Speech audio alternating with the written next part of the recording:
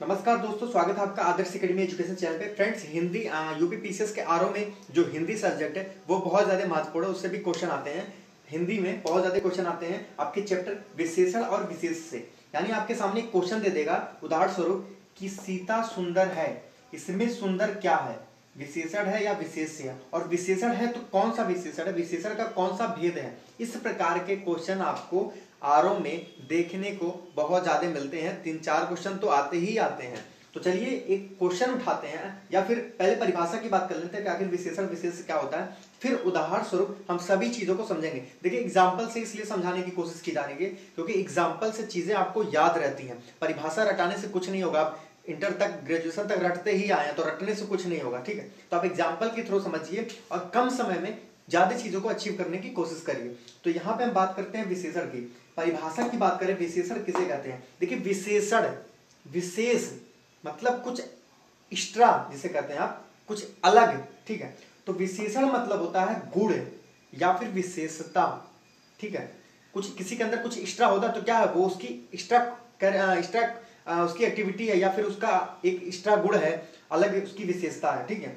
तो विशेषण की परिभाषा है, संज्ञा या सर्वनाम की विशेषता को व्यक्त करने वाले शब्द को विशेषण कहते हैं। संज्ञा और सर्वनाम, समझ रहे होंगे नाउन की बात कर रहा है। मतलब जैसे सीता सुंदर है तो सीता यहाँ पे नाउन हो गई, संज्ञा हो गई, या फिर सर्वनाम भी कह सकते हैं।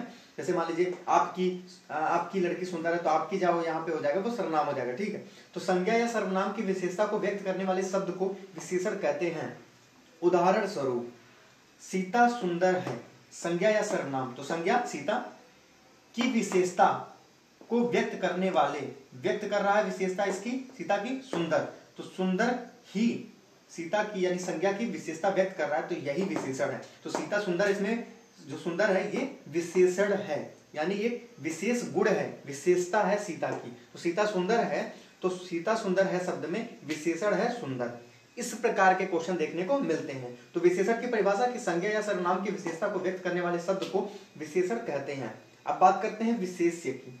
विशेषण और विशेष्य। विशेष क्या होता है? परिभाषा की अगर हम बात करें विशेष के तो विशेषण के माध्यम से जिसकी विशेषता व्यक्त होती है, फिर से बोल देता हूँ, विशेषण के माध्यम से, विशेषण के माध्यम से जिसकी विशेषता व्यक्त होती है, उसे ही विशेष कहते हैं। यहाँ पे विशेषण हो गया, यानी गुण हो गया, मोहन का गुण शरारती। गंदा गुण है अच्छा गुण है, उससे मतलब नहीं है। क्वालिटी की बात हो रही है उसके उसके विशेषता की बात हो रही है। तो मोहन शरारती तो शरारती क्या हो गया? यहाँ पे शरारती, उसका विशेषण हो गया। मोहन क्या हो गया? ये संज्ञा हो गया। तो परिभाषा में वही कह रहा है कि विशेषण के माध्यम से जिसकी विशेषता व्यक्त होती है, उसे ही विशेष कहते हैं। तो मोहन शरारती बच्चा है। तो मोहन क्या है?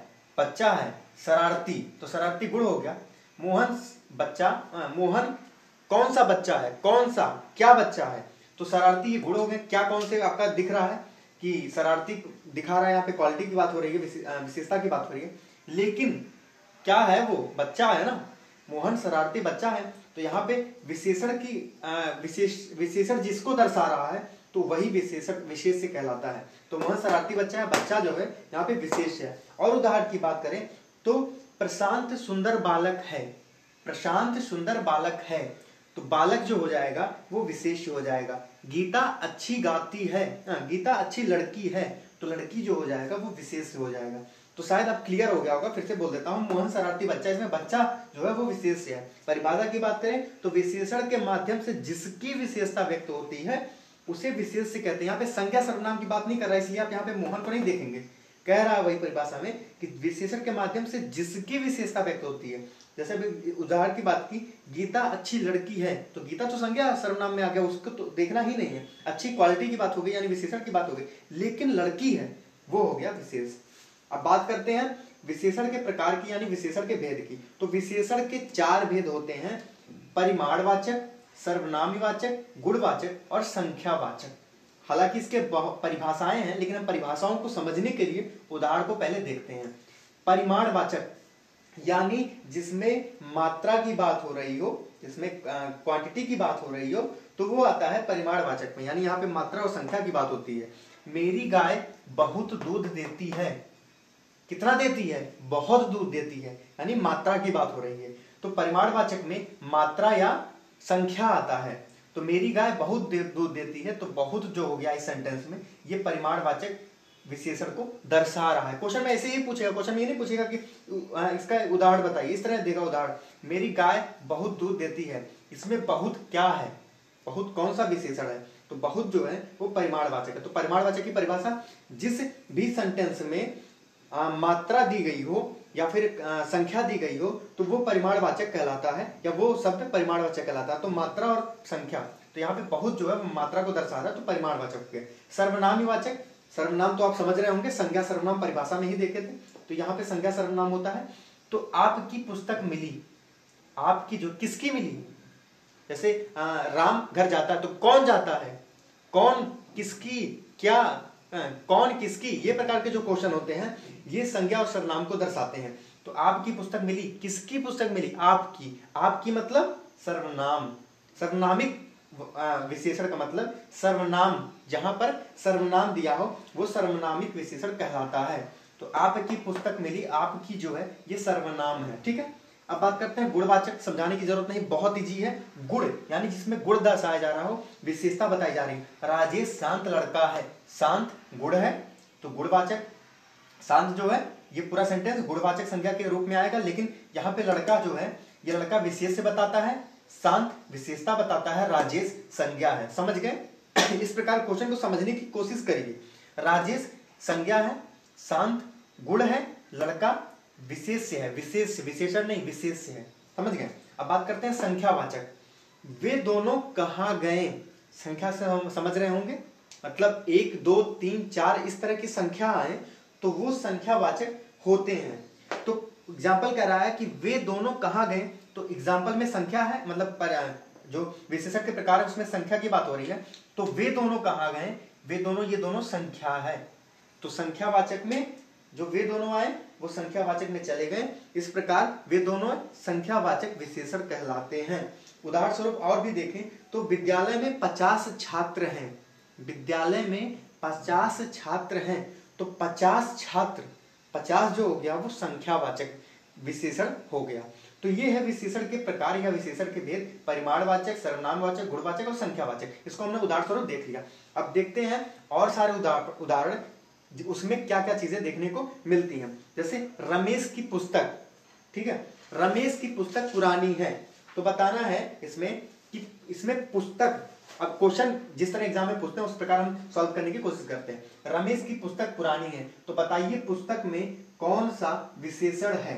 आपको बताना है कि पुस्तक में क्या है? विशेषण है या विशेष है? और विशेषण है तो कौन सा है? तो देखिए, रमेश की पुस्तक पुरानी है तो पुस्तक विशेष से है। जैसे हमने देखा था, मोहन शरारती बच्चा है। पुरानी तो उसकी गुड़ हो गई ना? पुरानी, नया, खराब, ये गुड़ होते हैं। लेकिन कौन सा किसके गुण की बात हो रही है? तो पुस्तक के गुण की बात हो रही है। तो जिसके गुण की बात हो, जिसकी विशेषता की बात हो, वो विशेष होता है। तो पुस्तक यहाँ पे विशेष हो जाएगा।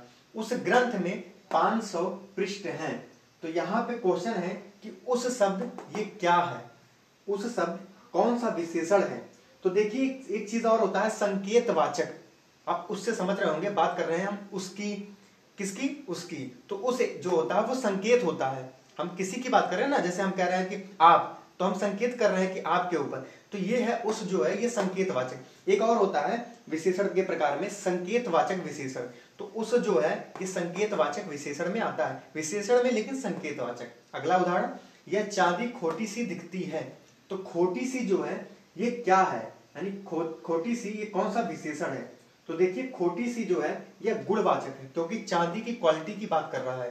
अच्छी है, बुरी है, खोटी है, गंदी है तो ये जो होते हैं, ये विशेषण होते हैं, गुण होते हैं तो ये जो है गुणवाचक विशेषण है। जैसे राजेश शांत लड़का है तो शांत गुण हो गया। तो इसी प्रकार खोटी सी चांदी का गुण हो गया। तो खोटी सी जो है, वो गुणवाचक संज्ञा है। अगला, वह नौकर नहीं आया। इसमें वह क्या है? वह है कौन सा विशेषण है? तो देखिए, वह जो है, ये सर्वनाम विशेषण है। मैंने बोला था, कौन, कितनी किसकी सॉरी कौन, किसकी? तो यहाँ पे वह नौकर नहीं है। कौन नहीं है? कौन नौकर नहीं है? वह नौकर। तो वह मतलब संज्ञा। तो वह और उस, किसकी? ये जो शब्द होते हैं, ये संज्ञा और सर्वनाम को दर्शाते हैं। तो जब भी आपके सामने सेंटेंस आए तो आप ऐसे अपने आप से भी क्वेश्चन कर सकते हैं कि नौकर नहीं आए तो कौन नौकर नहीं आएगा? वह नौकर नहीं आए तो वह मतलब संज्ञा। तो वह जो है ये सर्वनामी वाचक विशेषण है, क्योंकि संज्ञा वाचक तो विशेषण नहीं, सर्वनाम वाचक विशेषण होता है। विशेषण के भेद में आपने देखा था दूसरे नंबर पर, सर्वनाम वाचक। तो वह जो है, ये सर्वनामी वाचक विशेषण है। तो इस प्रकार के क्वेश्चन विशेषण और विशेष देखने को मिलते हैं। तो ये थी आपके लिए हिंदी का एक वीडियो। आई होप आपको वीडियो अच्छी लगी हो, समझने में आपको आसानी होगी। देखिए, इससे भी जी लोग समझाते हैं, ऐसा नहीं है, लेकिन इससे जी और कुछ हो नहीं सकता ना। क्योंकि मैंने उदाहरण के स्वरूप आपको समझाने की कोशिश की, ठीक है? जितना मुझे आया, मैंने आपके सामने प्रेजेंट किया। वीडियो अच्छी लगी तो लाइक करिए। चैनल पे नए तो चैनल को सब्सक्राइब करिए। और हम हिंदी के बहुत सारे पर्यावाची विलोम सभी से संबंधित वीडियो लेकर आएँगे। मिलते हैं अगले वीडियो में। जय हिंद। वंदे मातरम।